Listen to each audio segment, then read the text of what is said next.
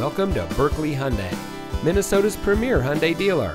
And here's a look at another one of our great vehicles from our inventory and comes equipped with roof rack, split fold down rear seat, heated door mirrors, keyless entry, rear spoiler, rear view camera, heated front seats, alloy wheels, fully automatic headlights, tire pressure monitoring system, and has less than 20,000 miles on the odometer. Here at Buerkle Hyundai, we treat our staff like family, knowing that they will then, in turn, take care of our customers like they are family too. And with our transparent pricing, you know you're getting the best deal on your purchase. We even have a three day worry free exchange. We'll work with you to find a vehicle that is just right for you. So give us a call and schedule a test drive. We'll even bring the vehicle to you.